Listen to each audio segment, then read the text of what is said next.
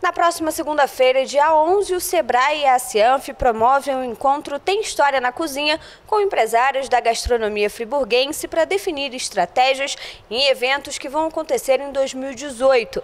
O evento é gratuito e começa a partir das quatro e meia da tarde na sede da Cianf. Para se inscrever, os empresários devem entrar em contato pelo telefone 2523 6908.